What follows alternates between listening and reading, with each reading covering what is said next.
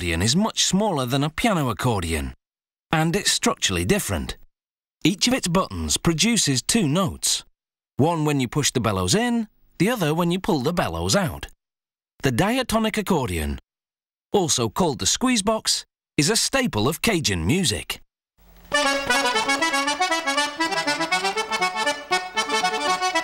This accordion maker crafts the right-hand keyboard from maple, a hardwood. He saws 10 slots. Then he drills 10 holes. The keyboard has no keys. In fact, it has 10 buttons. They produce the treble notes.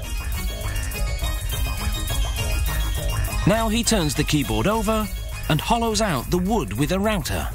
This creates space for components to move. Each slot in the keyboard will house a rocker, a piece that links each button to its corresponding air valve.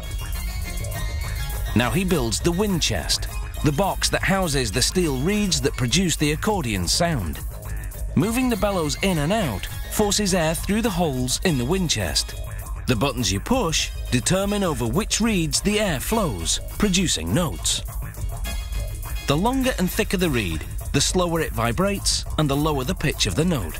The shorter and thinner the reed, the faster the vibration and the higher the note. There are eight reeds per button. Pushing the bellows in activates four, pulling the bellows out, the other four. Using a hot iron, the accordion maker seals the reed frames with beeswax. This prevents air from escaping. Now back to the keyboard. The accordion maker installs 10 valves made of maple wood. Each one has a plastic rocker on the end. A spring ensures the rocker has just the right tension to open and close the valve properly when the musician presses the button. After staining and varnishing the wood, he glues a button into each hole onto the rocker inside. Pressing a button triggers the rocker underneath to lift the valve and uncover the air hole, letting the air hit the designated reeds. The accordion maker now screws the fully assembled keyboard to the wind chest. Now he constructs the left-hand keyboard. He sets the reeds into the left wind chest using a hot iron and beeswax, just like before. The valves in this keyboard are made of pine, a more flexible wood, making them easier to install in this enclosed space. On the outside, a decorative wood inlay, a strip of ebony and some rosewood detailing. The left-hand keyboard has two buttons, corresponding to three reeds each. It produces two bass notes and two chords. After staining and varnishing the keyboard, he hooks a spring between each valve and the button that operates it.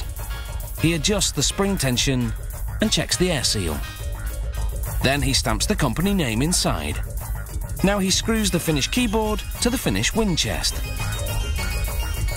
Meanwhile, Another worker prepares the bellows which forces air through the reeds. The factory buys pre-folded cardboard, then cuts and assembles it. These diamond-shaped pieces of leather seal the openings, preventing air from escaping.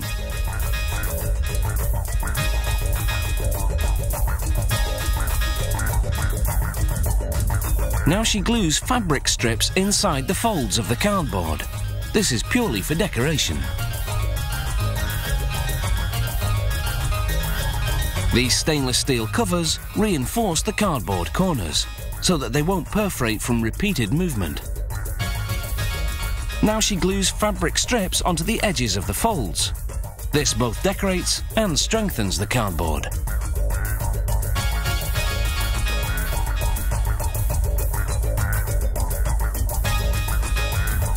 Now for the final assembly. The accordion maker nails the bellows to the left-hand keyboard the reason nails are used rather than screws is simply tradition. The left-hand keyboard has a hand strap, the right-hand keyboard a thumb strap.